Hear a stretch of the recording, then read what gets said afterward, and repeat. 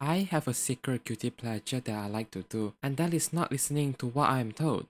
And for example, I know it's wrong to use a cotton swab to pick your ears because it will just push the earwax deeper or something, but I still want to do it. Or for example, sitting too close to a TV or you will make your eyes bad. Whenever someone tells me not to do something, it just gives me more motivation to do that. So I will not do what I was told to do.